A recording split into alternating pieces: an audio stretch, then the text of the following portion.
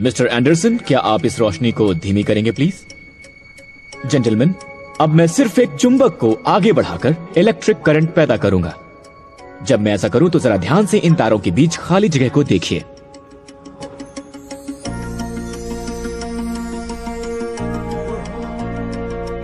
ध्यान दीजिए, जब मैं चुंबक को चलाता हूँ, सिर्फ़ तभी तारों में करंट बहता है। तो इस तरह से मोशन इलेक्ट्रिसिटी में बदल रहा है।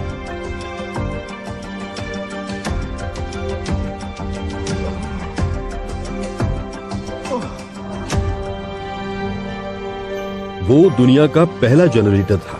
इसके बाद इलेक्ट्रिसिटी को ज़रूरत के मुताबिक पैदा किया जा सकता था। फैराडे लगातार इस दुनिया और इसमें रहने वालों की ज़िंदगी बदलने में जुटे हुए थे। कि तभी, अचानक, उनके बेमिसाल दिमाग को किसी बीमारी ने आ घेरा